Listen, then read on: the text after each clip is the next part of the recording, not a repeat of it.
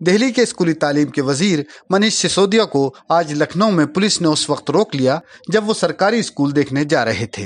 मौके पर मौजूद पुलिस अफसर ने जब दिल्ली के वज़ीर को रोका तो उन्होंने उसकी वजह पूछी। लेकिन यूपी पुलिस के पास कोई जवाब नहीं था। सिसोदिया ने पुलिस कमिश्नर से भी फ़ोन पर बात की तो उन्होंने भी कहा कि आप बिना बताए इस तरह कहीं नहीं जा सकते। मनीष सिसोदिया के साथ आम आदमी पार्टी के राज्यसभा रुकन संजय सिंह भी थे। उन्होंने पुलिस को अपने मोबाइल पर बताया कि यूपी के वज़ीर तालीम ने ट्वीट करके मनीष सिसोदिया को दावत दी है, लेकिन फिर भी पुलिस ने उन्हें आगे जाने से मना कर दिया। जिसके बाद पार्टी के कारकुनान ने नारेबाजी भी की। भाई ये हिंदुस्तान का हिस्सा है ना?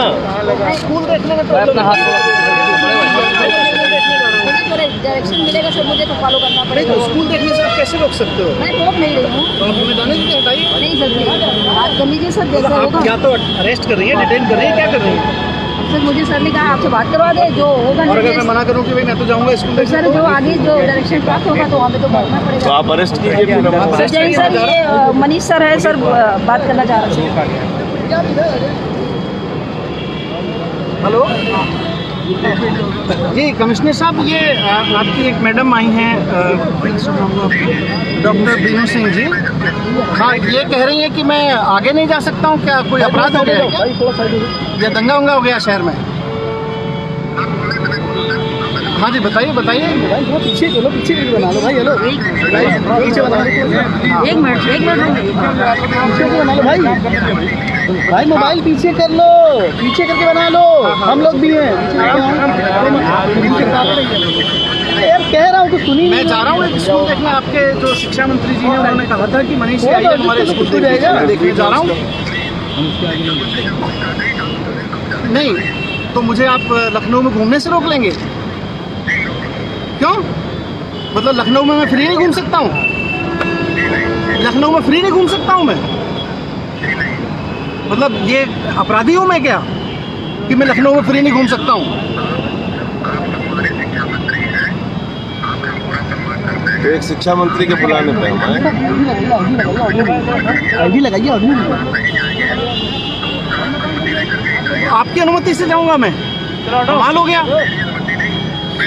मतलब पुलिस कमिश्नर साहब, आप ये तय करेंगे कि दिल्ली का शिक्षा मंत्री लखनऊ में आके कहीं जाएगा तो पुलिस कमिश्नर की अनुमति से जाएगा? तो मैं तो जा रहा हूँ, आप अरेस्ट कर लीजिए फिर। आप अरेस्ट करेंगे नहीं तो? ये कौन से कानून, ये कौन से कानून में कर रहे हैं? संविधान में कहाँ लिखा हुआ है? कौन से कानून में लिखा हुआ है कि आप शिक्षा मंत्री को रोकेंगे स्कूल में जाने से या कहीं भी? नहीं तो आप आप आप अवैध तरीके से किसी आदमी की लिबर्टी को कर्टेल करेंगे आप मे, आप मुझे लखनऊ में घूमने से रोकेंगे लखनऊ में कहीं जाने से रोकेंगे तो बहस तो करनी पड़ेगी ना? किसी कानून में तो कर रहे होंगे ना आप?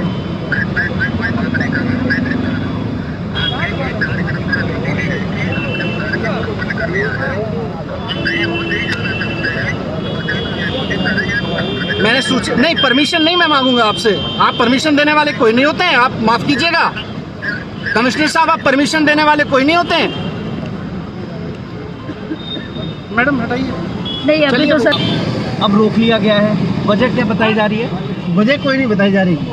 वो पुलिस का यूज़ करके वो चाहते हैं कि स्कूल ना देख पाऊँ इसका मतलब बीजेपी सरकार योगी मॉडल मान रहा है कि लखनऊ के स्कूल राजधानी के स्कूल भी बहुत खराब हैं और मुझे वो नहीं कहना चाहते कि मैं स्कूल देखने जाऊँ। हालाँकि उन्होंने ओपन चुनौती दी थी कि आप आइए हमारे स्कूल देख लीजिए लेकिन जब मैं स्कूल देखने जा रहा हूँ तो पुलिस का पूरा बेड़ा लगा के रोक रहे हैं। कमिश्नर साहब ने अभी फ़ोन करके कहा कि हम आपको आगे नहीं जाने देंगे। तो अब आप आप क्या करेंगे?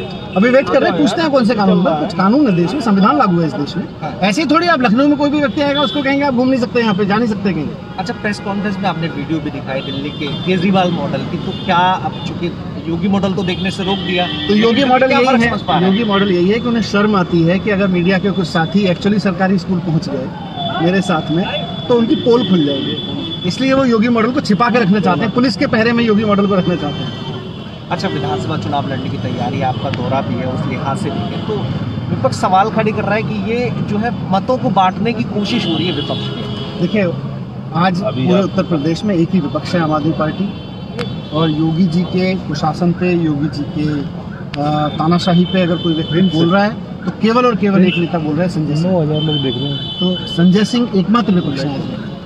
लखनऊ में। अच्छा मनीष जी, स्ट्रेटजी क्या होगी क्योंकि यूपी के हालात आप देख रहे हैं, आप लगातार सवाल उठा रहे हैं, कह रहे हैं, आम आदमी पार्टी विपक्ष की भूमिका में, बाकी सब शून्य के आसपास है। तो आपकी स्ट्रेटजी क्या होगी 2022 के लिए? 2022 में अब चुनाव आएगा तो जनता देख रही है कि योगी जी ने पिछले चार साल में कुछ उनके लिए किया नहीं है। तो वो केजरीवाल मॉडल, जिसमें आम जनता के लिए बिजली शिक्षा स्कूल अस्पताल पानी इन सब पे काम होता है वो लेके आएगी जनता। कैसे अलग पा रहे हैं आप केजरीवाल मॉडल को? मतलब क्या यूपी में खराब है और जो यही मॉडल है हम तो चुनौती देके कहते हैं हम एक हज़ार स्कूल दिखाएँगे।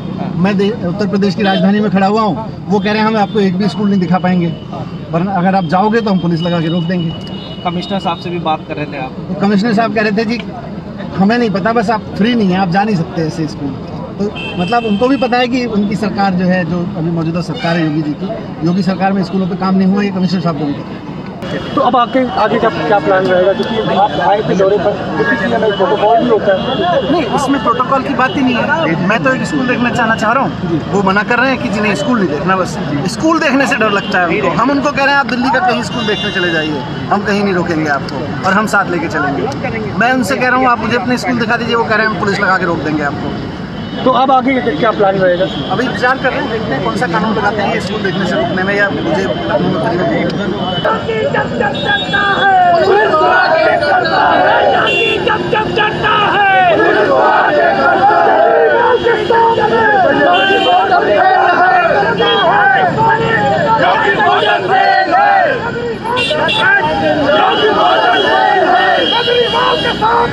लखनऊ में फ्री में जब जब तक